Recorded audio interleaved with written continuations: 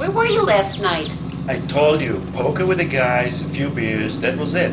Poker? You were at work playing with your Yahoo. Oh, like you've never done that before. Yahoo!